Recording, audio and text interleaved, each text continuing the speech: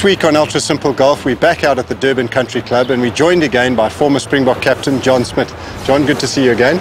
Good to be here, Don. John, last week we dealt with a couple of basics, the alignment and one or two fundamentals on the swing, and, and you know we're dealing with some, some wind that mm. uh, is going to play a big role in how you address this golf course. So we've got you out here on the second hole. It's a very demanding par three, as they all are here at Durban Country Club, but it's all a lot to do with strategy here. So what we want to do now is look a little bit about at your pre-shot routine and try and give you a good, clear plan for how to attack the shot.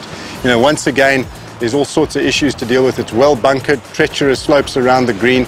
So it's a hole that you can attack, but we've got to settle on a good distance and uh, and choose the right club and then and then go from there. But mm. following last week's uh, episode, do you feel like you're a little bit more comfortable in what you're trying to do in your swing? Yeah, I mean the, the, the comfort is now actually being comfortable with being uncomfortable. Really, yeah, it's yeah. just setting up and aligning and making sure that you know when I when I put my, my blade to the ball yeah. and then I set up my stance and I look up, I feel like I'm always going left, but it actually has it's straightened up and it actually has helped. So and that as long as I align that to turning early and not pulling my body yeah. back, then things go well for me. Yeah. But when I head back to those bad habits, sure, it, it all goes right again. No, well, it, it's important now at this stage while we're working on it to stay committed to what you're working on and not be too result uh, orientated. Obviously, when you're playing in tournaments and things like that, you've got to go and play. Yeah. But you know, as you're trying to make changes, commit. But let's get out on the tee now and go and uh, try and make another par okay. on hole. I like it. All right.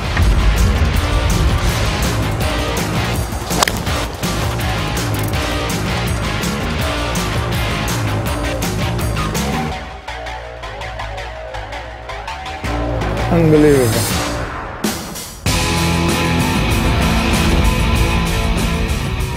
Right, John. Great 9-9, unbelievable. 172 metres downwind, amazing shot.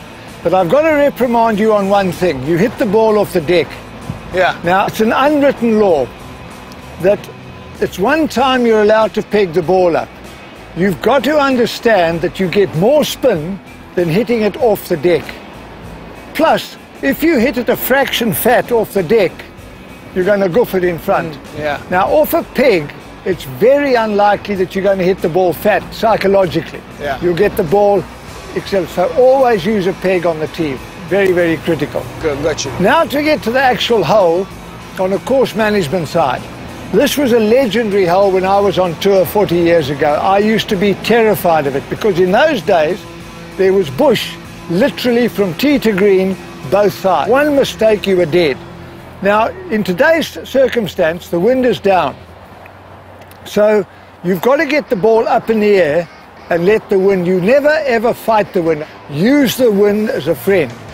Now, in today's circumstance, your direction is not going to be critical because of the wind From straight behind, behind you. Yeah. So the margin of error is minimized by you, well, miles. Yes. But the key is that you've got to get the ball up because you can see there's a massive upslope short. If you don't get up, it's going to roll down. Exactly. That's number one. So in these circumstances, you're pretty well covered by not making a massive mistake. But if the wind is into you, now we've got a problem. The first thing most people do is obviously take a club more and start hitting harder. Now, again, it's instinctive. The minute you start hitting harder, you turn quicker and become steeper, which is now the cardinal sin in golf. Mm-hmm. The steeper you come, obviously the quicker the ball's going to get up in the air, plus what people don't understand, the spin is now vigorous. Now the more spin you've got aerodynamically, the ball is going to climb. Yes. So you haven't got a club in your bag to get up to the green. So what you've got to do is in this scenario, if this wind was into us, it's about, I would say, a two golf club wind. So instead of a five iron, you take a three iron. In your case, instead of a nine iron, well, it was a brutal shot you hit. I can't believe you hit it that far. But I would have advised you to even go to a five iron. So it's nearly a four club. Same swing. With a couple of adjustments, which I'm going to tell you yes. now. Okay. The first is when you've taken two clubs more, if it's a two club wind, grip down the shaft just a fraction. Shimmy. Just, there's the conventional one. Just grip down two fingers. Now, it's an amazing thing how that the length of, or shortening the shaft, you've still got to be positive, but again, you're closer to the ball. Okay. Okay? Now, the key here is shoulder turn. All the great players in my era, Hogan, Palmer, Nicklaus, Gary Player especially, they had monster shoulder turns. Now, the further you turn your shoulders, the wider the arc, the more club head speed with no apparent, Ernie is another great exponent of that, no wrists. Now the key here, under windy conditions, the cause of your anxiety is the ball. You don't want to get away from the cause of your anxiety. So you don't turn your shoulders and you cock your wrist very quickly. Mm. You've now committed the cardinal sin. You've become steep, you've lost what we call connection, and you start picking the club up and chopping down. Everything changes. Exactly. That's where you get that upward motion and massive spin. Yeah. So the key here, grip down, and the big thing I would suggest to you, into the wind, we'll do it later, cut out the wrist cock. Don't not completely, but it's amazing when you don't consciously cock your wrist, yeah. you become more solid. When you see Tiger at his best, you know, 10, 12 years ago, as he takes the club back, he does what we call going back wide. Now he's working from the shoulders, not from here.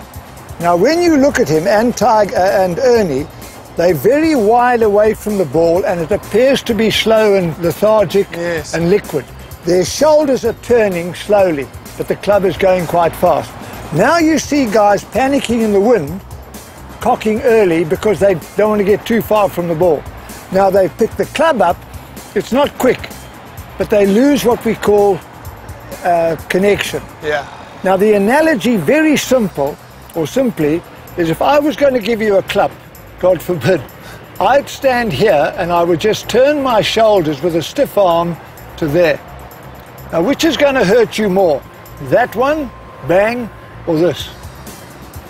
That's right. This is going to sting you. Yeah. This is going to hurt you. It's going to move my head, yeah. Exactly, because you're incorporating your body.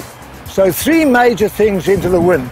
Grip down a, sh- uh, a tad, yeah. two fingers, depending on the wind, obviously more club. And the key and the final point here, swing not to get the wide. steepness, swing wide, which means don't cock. Okay. Does that make sense? It does. If you don't cock, and you turn your shoulders, you will be wide. If you don't turn your shoulders so, and pretend cock, that's a five iron and give me that wide swing. Show me It's exactly whether it's a wedge or a five yeah, iron. It's exactly the same.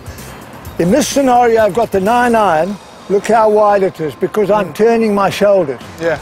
Now just look at the width of the club head away from my right hip. I'm now going to just cock my wrists and not turn. Look how narrow I am. Simple as that. Yeah. Now the final point if I'm in here, look at the angle I am. I'm too steep.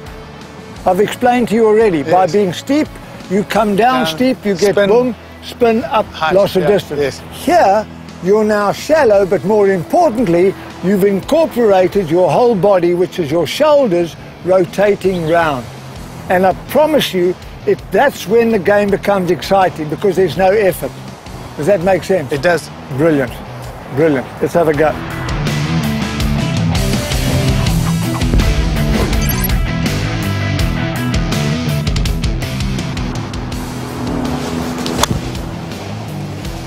Unbelievable. Unbelievable. Now, John, straight away we can see the improvement even from last week. Much more shoulder turn, less arm swing, left arm down the line is, is so much more solid than it was. Yeah. But I'm really loving the, the move through the ball now. Feels easier as well. Eh? Exactly. Like it doesn't feel like I'm trying to kill it. Correct. The weight shift is amazing. But where am I going to release my tension now? Let's get on the bike later and ride to Harrismith. Okay. But I mean, that's unbelievable. I mean, that phenomenal. Does. It feels like there's far more control, far more consistency, and I sort of sort of when you get you almost feel like you can get to that stage where you can actually expect it to go where, you, where you're aiming. Isn't that the, the, the aim, name of the game with it golf? Is, it's, uh, Fantastic. That's the idea. Excellent.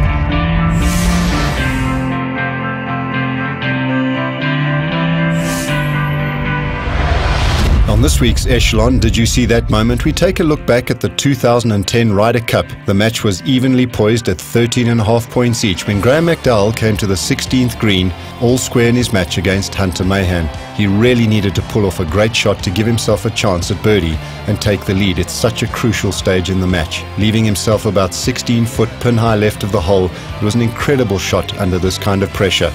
You could literally sense the tension building amongst the enormous crowd as well as on the face of fellow Irishman Rory McIlroy. McDowell now stands over the putt, 18 inches left of the hole, very quick downhill, and with one of the better strokes on the European Tour, McDowell does it again. A beautifully weighted putt dies into the middle of the hole, giving us one of the great moments in Ryder Cup history and ultimately the point that Europe needed for a historic victory.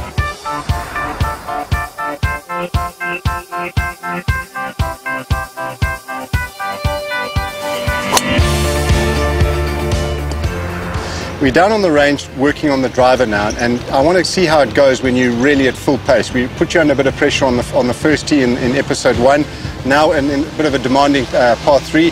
So now we got the big dog out, and this is where the where the fun lies. Yeah. And the swing doesn't really change fundamentally when you go to the longer club, but obviously the pace increases. So we want to keep focused on the balance and the rhythm, but keep paying attention to the amount of shoulder turn, to the active left side, and try not get into the habits of killing it with your right hand. It used to be my go-to, but I've been really? avoiding it like the plague lately. Okay. So uh, it's normally just been five iron off the tee box. So it'd be great to be able to hit, get back into hitting a big, big driver again. But we also just need to be aware of the fact that you, you want to have fun. You don't want to come out here and be Mr. Perfect and hit everything uh, fair. You Five iron is, is, is, is, definitely not the way. No, no. Well, I mean that's it. So you, I couldn't agree more. But when you take out the driver, let's let's give it a rip, but let's do the best we can to keep it in play. Okay.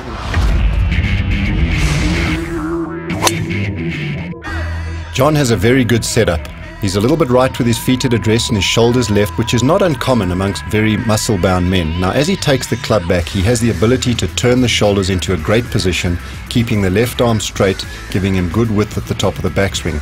The swing is right on plane, and he now is fully loaded into the right side. From here, he transfers the weight beautifully into the left side, rotating his middle, giving him freedom to release the left hand. He does have a little bit of a chicken wing with the left forearm in order to keep the ball in play, but this is what all good ball players do to keep the ball down the line. A good swing by a great athlete. Jay, we're standing here on the 16th at Durban Country Club, and it's a very demanding tee shot. And, and, you know, with all the talk these days with the new drivers and the adjustable technology, how effective is it? Because you know, you want to be able to come to a course like Durban Country Club and many of the other tight driving uh, courses that, that, are demanding and hit the ball in the fairway. Yeah. How helpful is this technology now going forward? Don, I think it's incredibly helpful. I'll tell you why. We see it day in and day out on our retail floor. You know, we help guys on the yeah. FlightScope machine and we see how the, the, the direction of the person's flight changes. Yeah and how the height that the guy's hitting the golf ball. If he yeah. comes in there and he's hitting a low cut, yeah. we can literally, by adjusting the driver, get him to start hitting a high draw with the same golf swing. Yeah. So I've seen it firsthand. I think what we need to do is a guy with a repetitive golf swing like yourself needs to hit a few shots here on the 16th. Let's set them on different settings, the various drivers, yeah. and you see if the proof is not in the hitting. Perfect. Let's do it. Great stuff. There you go. See how nicely that moves from left to right? Sure. Just a, a, nice, it took off and then just softly falls off to the right. Set on a little bit open, so all you have to do is make your normal swing, and then from there, the ball moves left to right. Now that's a shape that I like to hit, but uh, yes. I, I, I've, my bad shot is I've never hit it for the right reasons. I'd get ahead and leak it right, but that yes. really felt like I could release it down the line and let's, what I want. Let's, let's try with a square on the, on the custom and see if, there's, if it's a little straighter and less left to right shape. Okay. Is this a little shorter, perhaps, lengthwise in the club? A little bit. Okay. So what are we looking here? Just slightly straighter shape? This should come out dead straight. If you make a decent swing. Okay. Oh my. How that feel? Wow, that's unbelievable. You see how deadly straight that went? We just set the face on square. It's 10 and a half degrees, fair enough. So for you, it's probably too much loft. Yes. But for a guy who tends to lose it to the right, yeah. either set it on square or slightly closed, you won't have to worry about that leak to the right that puts you in trouble. Jeez, that's phenomenal. Yeah. That really was so solid. Right, next one. What do finally, we got? Finally, we're going to set this. This one is set on closed.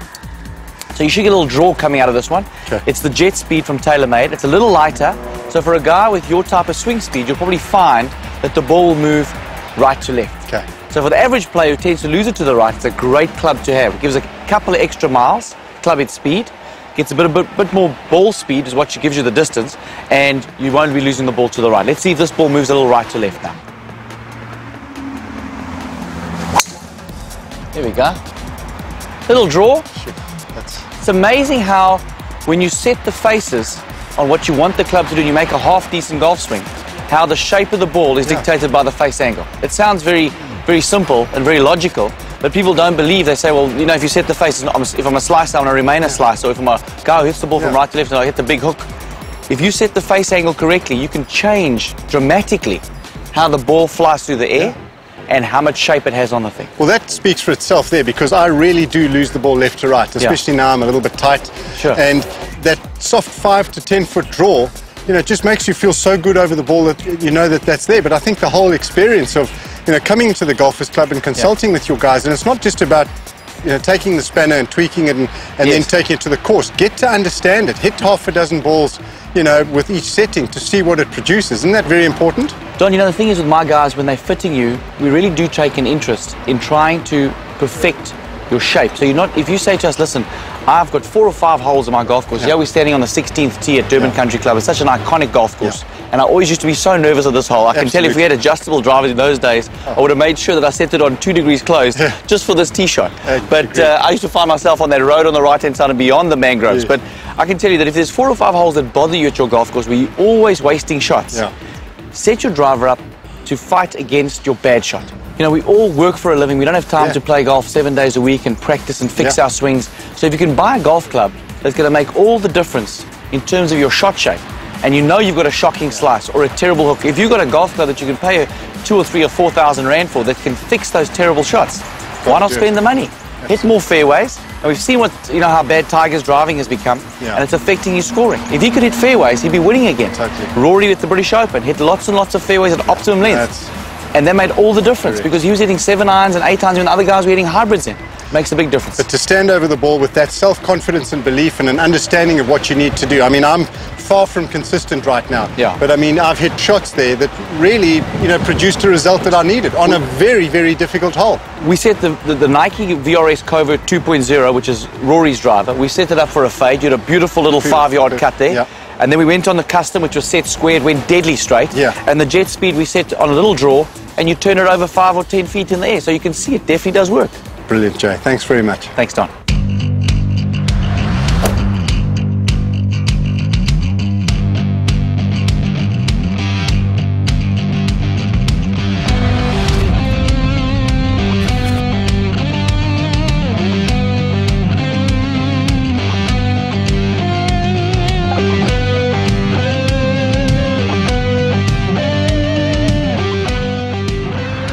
Well, John, we had a great time being out there for a couple of holes with you and, and working on the game. I hope it's made a bit of sense to you and, and given you a bit of uh, yeah, clarity on what you yeah. need to do it's been a while since, uh, well, it's been 10 years since I last took direction. And uh, um, I suppose when you don't spend time on the game enough of it, and then you just get into these bad habits and you don't get an idea of how to rectify it. So yeah. today was, you know, it's quite an eye opener. Just being on the series has been an eye opener. And you, you, and your father make it sound so simple. And at the end of the day, it is. It's supposed to be simple. Yeah. So uh, alignment, you know, don't try and kill every single ball, which is a habit of sure. mine. And I sort of come out here and I want to beat the death out of every yeah. little white ball. So uh, there are a couple of simple things that hopefully I can take out of this. And, and you know, might not might not make me a scratch golfer, but at least I'll be a little bit more competitive and, and keep the ball in play a little bit more often. Well, I think the most important thing is to find a way to get the enjoyment back. I think yeah. that's the challenge that every golf pro has out there, and almost the responsibility is to get people playing the game again. You know, you've become a really keen cyclist and doing great with that, but we're actually losing a lot of golfers to cycling because I think of the difficulty factor and the stress that comes with the game. Yeah. So when you can find something simple that helps you improve, you'll want to come back and play. But we spoke about it earlier. It's, yeah. it's one of the greatest sports, especially for your kids to play. Yeah. They don't need any opposition. They can come out here. It's safe. Yeah. Keeps them out of mischief. It's, uh, and it teaches you a lot about life as well. You know, there's a lot of self-discipline involved, and yeah. it certainly helps you temper your, your, your, your, tantrums every now and again when a ball goes uh, wayward. So there's a lot to be learned out of the game, and it has a lot to offer, especially for young kids. We talked about the fact that, you know, throughout your career, when you were at your best, you really found that you were doing the basics extremely well, which obviously applies to, to golf. Now, you know, talk a little bit about, you know, the, the demands of your particular position and the role you played in the bombing. I think rugby is certainly a combat sport. It's Yeah. warfare really, and it's very physical. But you know, one of the most important jobs that I had, obviously as a hooker, was to throw the ball, Sure. which is quite a, a finite job. You know, it's quite a, a detailed uh, um, uh, maneuver, I Yeah. suppose, and Yeah. it took a lot of training and I had to move from prop to hooker. So a lot of it is getting detail. I used Dr. Sherylle Calder, who uh, helped me on, on actually the thing that you've helped me with, alignment. Yeah. And alignment for me was really just getting elbows in, getting you know, making sure that I worked in a straight line where I started. So my backswing, instead of starting it and bringing it out, eliminating Yeah. the room for error, starting the ball back, keeping my elbows in, and then knowing when to release and staying within Right. the same line. And it's almost the same stuff that you guys Yes. are trying to teach me here. And I, I knew when I started getting a ball that drifted towards a long ball at the back, sometimes the ball would drift to the right. Yes. Come back on a Monday, I'd realign, focus on my elbows being in, focus on where my ball, ball flight started, and try and understand when I let go of the ball because the, the timing of letting go of the ball would depend on how the spin Yeah. would affect the, the ball at the end of its flight at the, at the back of the line out. So um, I suppose I can always relate back to my Yeah. throwing in when I'm playing golf in the future. Absolutely, but did you feel that when you were doing it at your best, there was a feel, there was a softness and a flow to it? You, uh, did you feel the pressure where you, was, you were squeezing You know, the ball a little tighter? to get into a rhythm of how you throw the ball and to get it to the flat game, Yeah. It takes practice and hours Sure. and hours of that. Then you've got to get over the over the obstacle of being unafraid of the opposition and being unafraid of where you think your guys call the ball. So Okay. just throwing a ball and all you see is your guy and all you know is where to put that ball. And uh, once you get in it, you get into a rhythm and you've done it for so many times. I could close my eyes and throw the ball to Victor if I just knew what the call was. It was Sure. one of those things that just became such a, a natural sort Yeah. of muscle memory type of thing where you get that feel. Yeah. And um, and if, it, if you ever had a, a wayward day, it was such an easy thing to, to fix on a Monday Yeah. because you could actually remember how uncomfortable you felt on a Saturday. So we know your work ethic was amazing and you know your professional outlook and approach to the game, but you know under those pressure situations when you had to pull all these talented individuals and different personalities together and get the guys focused, what kept you calm? How did you go about it? Uh, I suppose at the end of the day, I always had a, I I always liked to have quite a stern belief in, in, in whatever I was doing in the group within uh, that I worked within, what, what we were doing, what our outlook was. Um, and when there's a belief in what your goal is and, and the people around you, and I did, I believed heavily in the people around me. We had an unbelievable team, and we still do. We have unbelievable players. But that group of players that surrounded me for so many years, um, yeah, they were they were people that I could rely on. You know, Right. Victor, you know, Jean de Villiers, Juan Smith, uh, Fourie du Preez. Amazing. The list just goes on and on. Percy Montgomery, Os du Randt, all these legends of the game that I've played with, and uh, you know, it's it was always heartening to have you know those guys in your corner. So when the chips were down, you know, we'd all been through a similar pathway. We'd had some, some really tough times in 2006, and I suppose we had reference. You know, We had reference of tough times, and those references and how you got through them Yeah. always helped us when it came down to the crunch. You know, when you look back on your career, you came up against so many incredible players in the opposition. Just single out one that really, you know, got your blood boiling and wanted you to play and brought out the best. Well, I think the one that I, I certainly revered, and it's quite topical. You know, he retired from the game at the absolute pinnacle, winning the Heineken Cup and the top 14 for Toulon. But Jonny Wilkinson was Really? someone I think that transformed the game of rugby union. If you think about where the game came from, 95. In 95, we had Jonah Lomu who just Yeah. hit the scene and ran over people around them. He just was incredible, and he just boosted the game uh, so much. And I think the, the, the, the, the scope of who watched the game Yeah. because people came out to look at Jonah. And then we had this Jonny Wilkinson guy who was, you know, so unlike the usual sportsmen who were normally quite flamboyant and looking for this Yeah. limelight. This guy was just all about work, Yeah. all about work ethic, and about performance. And uh, you know, putting through a, a, a drop kick with his wrong foot to win a World Cup set him up. We thought that would be the pinnacle, and he just carried on and Yeah. on and on. And uh, so I think he was certainly one of the guys that I was privileged enough to play against. You know, really, it's been a pleasure being with you. It feels like we've kind of bookended your, your career back Yeah, from 2004 to now. have, yeah. But it, it really was a, a, a pleasure and a privilege watching you play, and everything you did for the game is, you know, I think a lot of the guys now are still reaping the rewards of some of the of the culture that you put there. So, John, congratulations on an amazing career, and I, I hope we Thank get to you. see you out on the course a little bit more Well, often. we're in the same town now, so uh, maybe Yeah. these, uh, maybe you can see your lessons in actual practice uh, in one I of these so. rounds in the near future. Super, John. Thanks, Thanks, Don. very much. Appreciate it. Go. Excellent.